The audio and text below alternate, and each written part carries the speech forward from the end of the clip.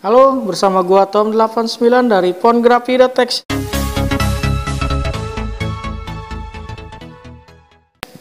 Nah, pada kesempatan kali ini gua akan bagikan sedikit tips bagaimana membuat intro sederhana menggunakan aplikasi KineMaster. Nah, buat kamu yang belum download aplikasi KineMaster, bisa kalian download di Play Store ya, atau di link deskripsi video ini. Oke, langsung aja kita mulai video tutorial ya.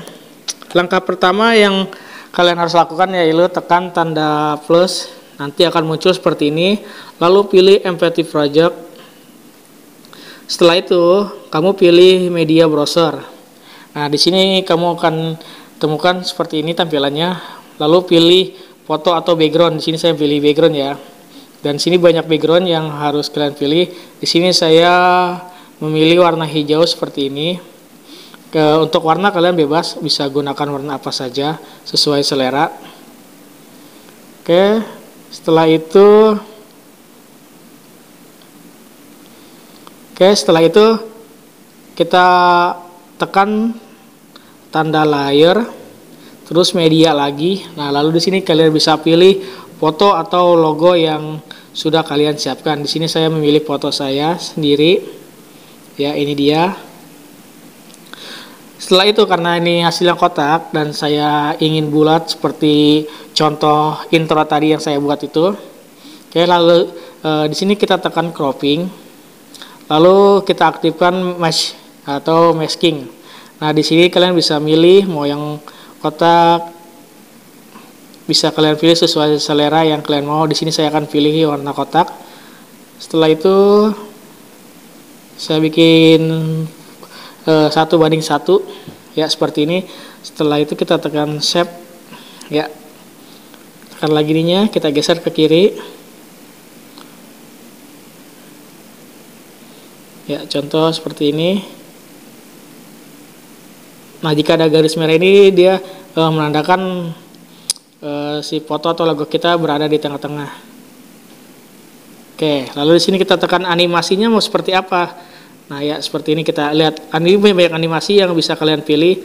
E, bisa kalian pilih sesuai selera. Di sini saya menggunakan up-up aja. Lalu di sini saya ini untuk mengatur e, seberapa cepat si logo atau inter, e, logo atau foto yang akan kalian tampilkan oke setelah itu kita mainkan sebentar dikit ya seperti ini kita geser lagi ke menu layar untuk menambahkan teks.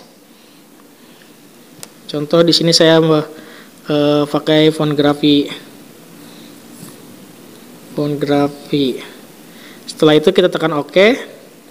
Kita geser. Nah, lalu sini kita ubah juga uh, warna fo uh, untuk fontnya. Bisa kalian download di sini. Sini saya pilih Bepan aja. Ya seperti ini. Ini kebesaran jadi kita harus sesuaikan. Font grafi. Oke, jika sudah kita cut nih. Jangan terlalu panjang-panjang. Ya segini. Kita tekan di bagian area teksnya lalu kita pilih tanda gunting. Sini kita pilih untuk menghapus area bagian belakang. Ya sudah. Fotografi saya akan menambahkan layar lagi. Dot text. Kita tandai bepan lagi.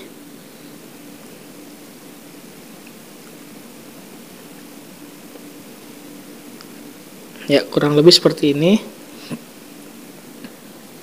Dan kita samakan juga posisinya. Kita potong lagi ya. Sudah setelah itu kita tekan tombol lagi e, layar lagi dengan teks. Ini kita buat e, slogan.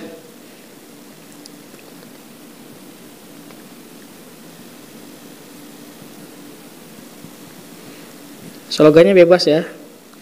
Sini saya punya slogan sendiri. Nah untuk teksnya kita pilih saya akan pilih yang railway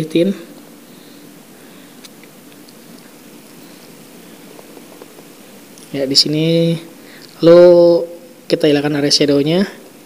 Glownya kita matikan. Background color.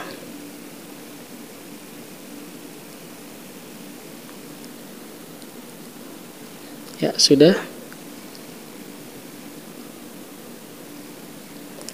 Kita potong lagi seperti tadi. Sekarang kita lihat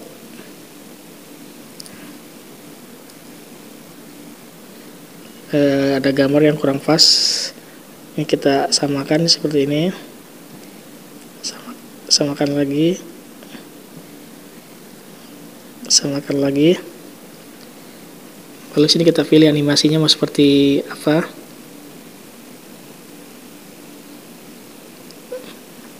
Ya misalkan sini kita pilih eh, seperti dia 1 per 5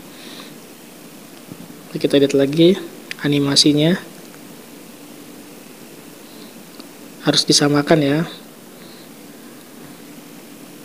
Ya pilih lagi animasinya. Ini, kalau ini kalian bisa bebas ya bisa pilih yang apa saja. Sesuka kalian sesuai selera kalian.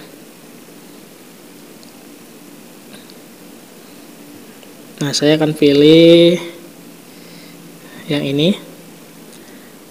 Oke, kita lihat.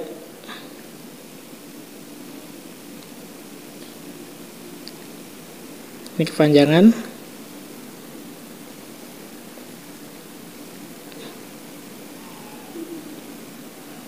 Ya, kita tekan ini lagi. Setelah itu kita tambahkan audio atau musik. Nah, bisa kalian download atau bisa kalian digunakan juga ya berbawaan tapi usahakan sih yang download yang tidak kena copyright ya oke sini saya, saya akan pilih Alan Walker seperti ini. Tanda plus. Contoh saya mainkan.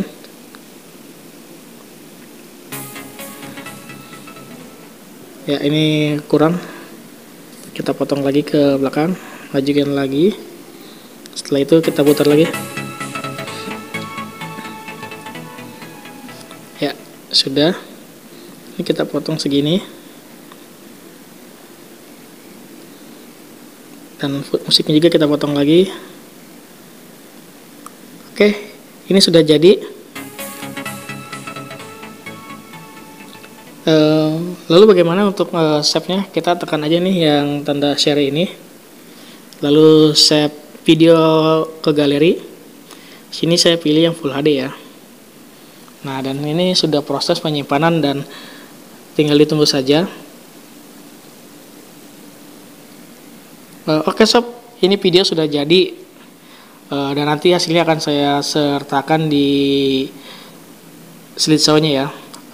Oke, jika nanti ada pertanyaan mengenai cara membuat video intro, bisa kalian tanya saya di Twitter atau di Instagram ya. Instagram saya tom89 nanti akan saya sertakan juga di slideshow. Uh, untuk kamu yang belum subscribe jangan lupa subscribe ya karena uh, Senin saya akan upload video giveaway-nya ya.